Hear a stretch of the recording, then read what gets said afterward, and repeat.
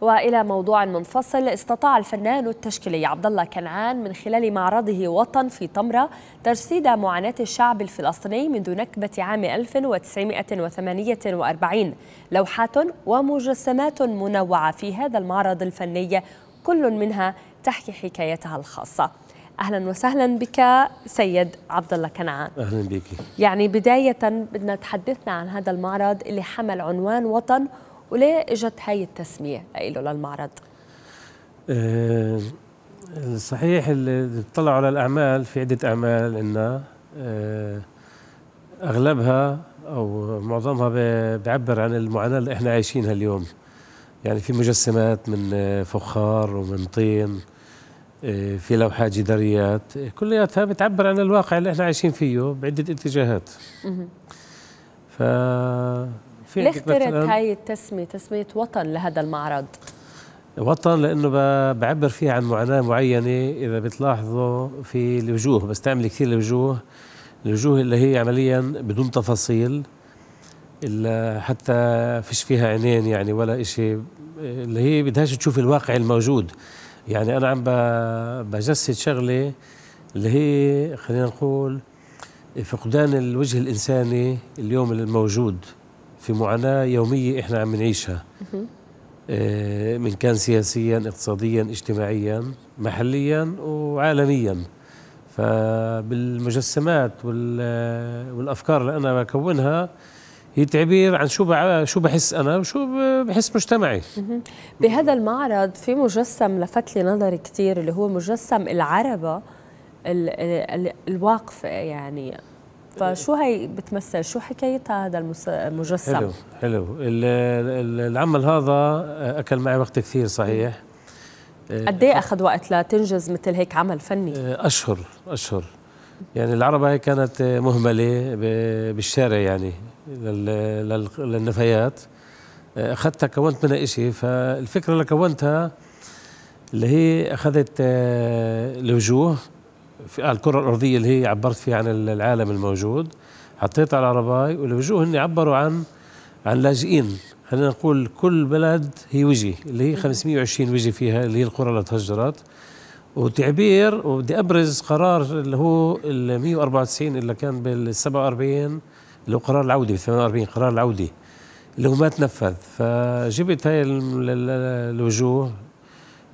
كونت على العرباي والعرباي إذا انتبهتوا لشغله إنه إيه، الإيدين عليها أشواك عليها أسلاك شائكة اللي هي ما تحركت.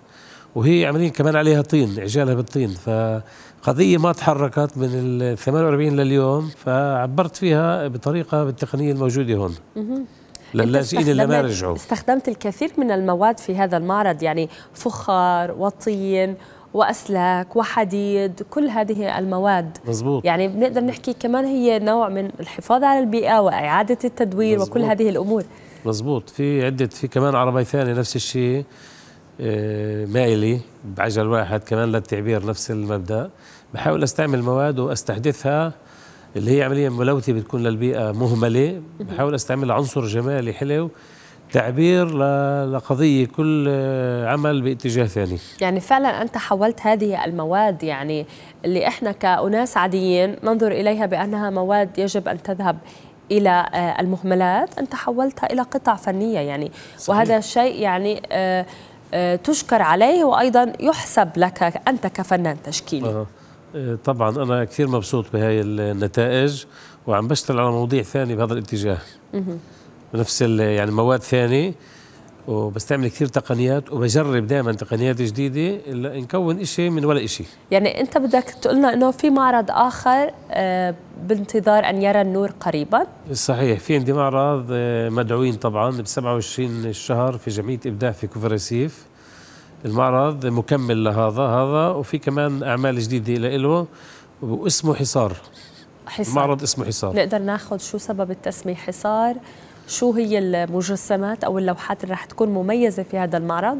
أه حصار في مكمل للأفكار اللي هنا عن مواضيع بلادنا اللي هي المعاناه معاناة بكل الاتجاهات. إن كان حصار آه، خلينا نقول اجتماعي سياسي اقتصادي شو الإنسان بيعاني من هاي الشغلة؟ فدائما بستذكره ببينه عشان أظهر إنه الحياة حلوة وكل شيء تمام بس برضه في معاناة.